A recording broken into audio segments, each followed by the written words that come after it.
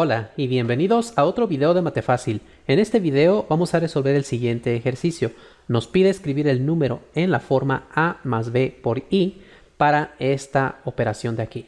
Fíjense que tenemos arriba una multiplicación de números complejos y luego hay que dividir entre 3 menos i. Así que vamos a empezar realizando la multiplicación del numerador.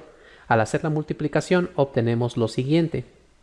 Esto se obtiene multiplicando 2 por 5, que es 10, 2 por menos 2i queda menos 4i, luego 3i por 5 queda más 15i, y luego más 3i por menos 2i, más por menos da menos, 3 por 2 da 6, i por i queda i al cuadrado.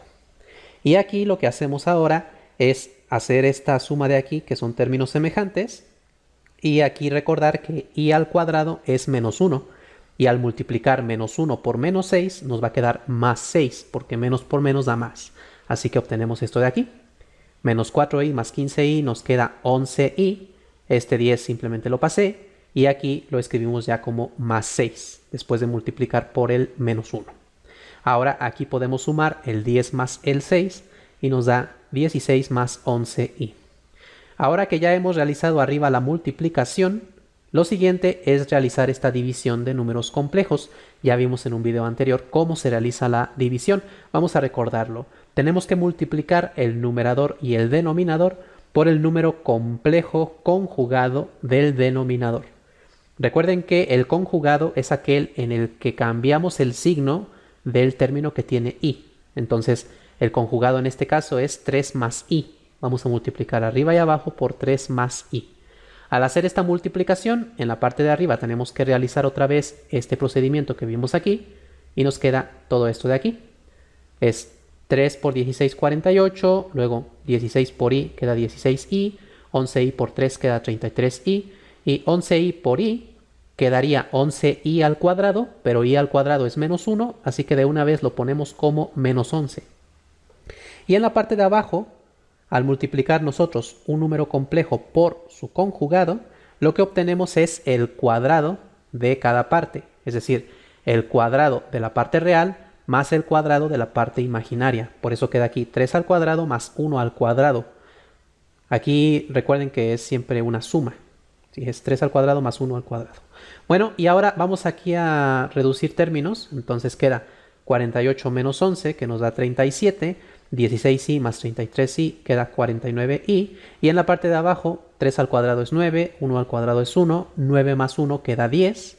Y finalmente, para llevar esto a la forma a más bi, lo que podemos hacer es separar esto como una suma de fracciones. Por un lado dejar 37 décimos y luego más 49 décimos de i. Entonces ya lo tenemos en la forma a más bi. La a es 37 décimos mientras que la B es 49 décimos. Ahora los invito a que le den pausa al video e intenten realizar ustedes estas eh, dos operaciones.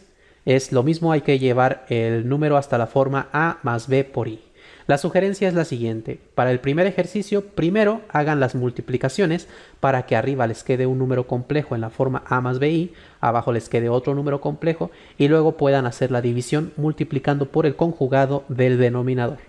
Y en el segundo ejercicio la sugerencia es la misma. En la parte de abajo tienen que desarrollar el binomio al cuadrado, reducir términos y llevar eso hasta la forma a más bi.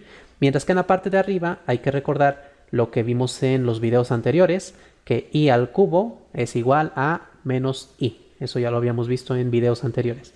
Con eso en mente, entonces pueden reducir esto de aquí.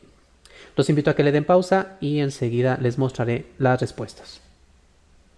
Bueno, si ya hicieron los ejercicios, las respuestas son las siguientes. Para el primer ejercicio, la respuesta es 7 sobre 25 menos 1 sobre 25 por i. Y para el segundo ejercicio, nos queda, al hacer primero las operaciones por separado, i al cubo es menos i y multiplicado por 2 queda menos 2i. Mientras que en la parte de abajo al desarrollar el binomio al cuadrado queda primero el 2 al cuadrado que es 4, luego el doble producto de 2 por i que es 4i y luego más el cuadrado del segundo que es i al cuadrado que de una vez lo ponemos como menos 1. Realizamos aquí las reducciones y entonces llegamos a esto de aquí. 4 menos 1 es 3 y aquí 5i menos 2i queda 3i. Entonces ahora simplemente hacemos la división multiplicando arriba y abajo por el conjugado del denominador, que en este caso es 3 menos 4i. Hacemos de nuevo las multiplicaciones, separamos las fracciones y llegamos finalmente a esto de aquí. 24 sobre 25 menos 7 sobre 25 por i.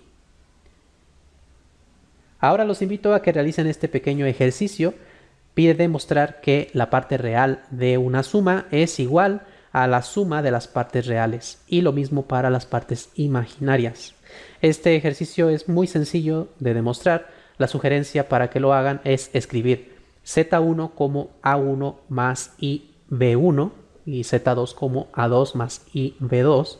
Entonces con eso pueden ustedes escribir fácilmente cuál es la parte real de la suma, cuál es la parte real de cada número por separado y verificar que se satisface esta igualdad y algo similar para la parte imaginaria.